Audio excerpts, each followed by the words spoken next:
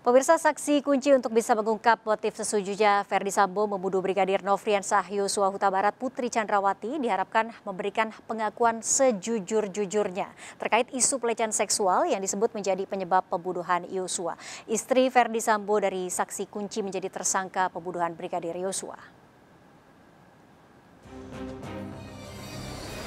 Satu bulan setelah kematian Brigadir Joshua, saksi kunci kematian Brigadir Joshua sekaligus istri Irjen Verdi Sambo, Putri Chandrawati, akhirnya muncul ke hadapan publik.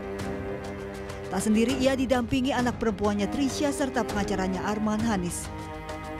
Putri mengaku hendak menjenguk sang suami yang berada di Mako Brimob Kelapa II Depok, Jawa Barat karena melanggar kode etik dalam penanganan TKP kematian Brigadir Joshua. Namun kala itu mereka tidak mendapatkan izin untuk bertemu Verdi Sambo.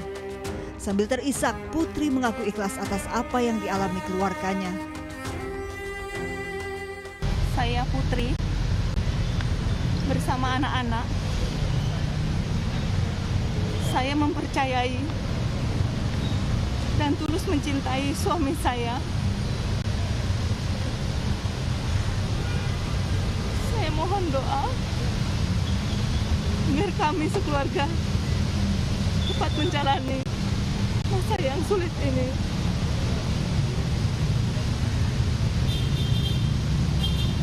Dan saya ikhlas memaafkan segala perbuatan yang kami dan keluarga alami. Cukup ya, teman. Saya tadi konsultasi dengan psikolog klinis uh, meminta agar Ibu PC dapat uh, membesuk atau bertemu dengan Pak FS. Uh, Ibu PC ini saya al alhamdulillah hari ini bersyukur tadi diberikan uh, izin oleh psikolog klinis uh, Ibu PC tegar dan kuat untuk menjalani masa sulit ini. Selain menjenguk kedatangan putri dan anaknya untuk membawakan pakaian Irjen Verdi Sambo. Sebelumnya Putri Chandrawati dikabarkan mengalami trauma pasca insiden tewasnya Brigadir Joshua.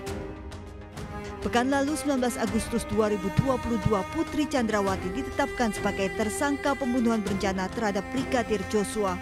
Irwasum Polri Komjen Agung Budi Marioto menegaskan ada dua alat bukti kuat yang dimiliki polisi berdasarkan tiga kali pemeriksaan terhadap istri Sambo. Putri dijerat pasal yang sama dengan Ferdi Sambo, pasal pembunuhan berencana. Meski berstatus tersangka, Putri belum ditahan karena alasan kesehatan sehingga perlu proses pemulihan selama tujuh hari. Dari Jakarta, Tim Liputan iNews melaporkan. Informasi selanjutnya, pemirsa Bupati Tulung Agung Warioto Birowo dan sejumlah pejabat serta anggota DPRD diperiksa penyidik KPK. Pemeriksaan diduga terkait kasus dugaan suap bantuan keuangan Provinsi Jawa Timur 2014 hingga 2018. Penyidik KPK kembali meminta keterangan Bupati Tulung Agung Mario Tobirowo di Mapolres Tulung Agung.